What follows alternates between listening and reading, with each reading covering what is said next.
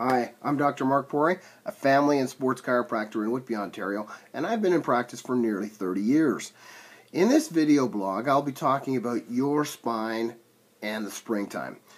If you're like most other people in Canada, you tend to shut down your activity levels in the winter time to a great extent. When the spring arrives, there's a big push to get back outdoors to enjoy the weather uh, and many outdoor activities like cycling, golf, jogging, and gardening. There's really something for everyone. While your mind thinks it's ready to go, your body and your spine have been hibernating for the last few months, and muscles have shortened and lost some of their strength and flexibility.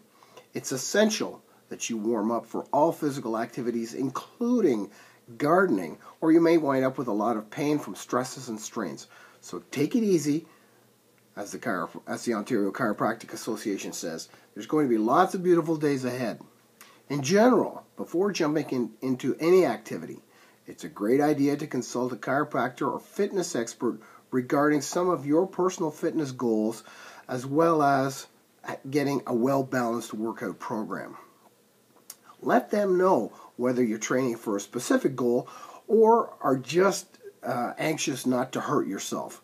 Tell them about any current or old injuries that you have uh, and have a chat about dietary considerations, which may help or hinder uh, some of your plans. There may also be uh, they may also be able to offer some ideas about cross training. Cross training is adding activities which are unrelated to your activity, but which can train you without repeatedly using the same muscles and joints to the point of injury. Sometimes cross training is used to, sti- to stimulate the same muscles in a new or different way, or even offer training uh, of some muscles while injured ones are rested. Regardless of your goals, the following are the key elements of every well balanced fitness program. One, cardio endurance. How well do your heart and lungs supply oxygen to your body? You build this by regularly doing a minimum of 15 to 20 minutes of activity like running, walking, swimming, biking, or even ballroom dancing. Two, muscular endurance. How can your body repeat a movement or hold a position? How long can it do this? Weight training, body resistance exercises, or, or other activities that work muscles can help build muscle endurance. Three, muscle strength. How much weight can your can you comfortably uh, lift in a safe manner. Obviously, there are, there are a number of activities that can help here, but lifting weights is fundamental uh, in developing strength. Fourth element is flexibility. How limber is your body? When your chiropractor did your first assessment, this was one of the one of the, the key things checked to determine the reason for your injury or the likelihood of future injuries. Activities like yoga, uh, as well as a program of stretches, will help you increase and maintain your flexibility. Five, body composition. The ratio of fat to bone and muscle in your body.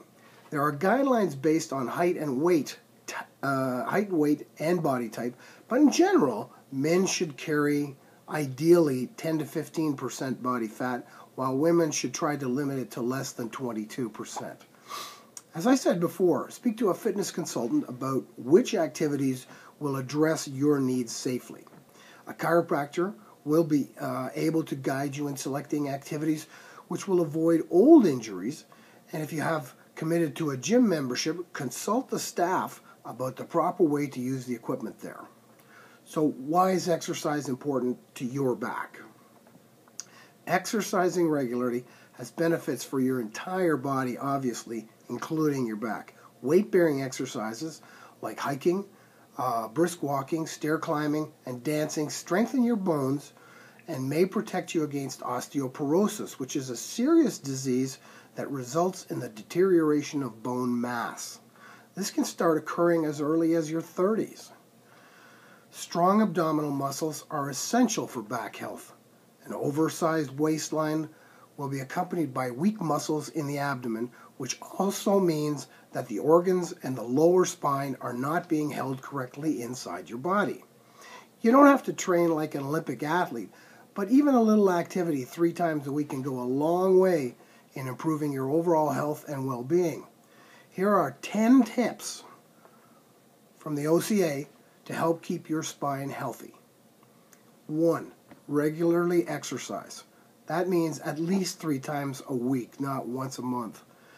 2. Follow a healthy diet. Avoid saturated fats or overdoing amounts of any food. 3. Maintain good posture. Attach an imaginary string to your breastbone and give it a pull whenever you can. 4. Stretch your spine before and after all sports. 5. Don't overlook or don't overload your backpack or shoulder bag.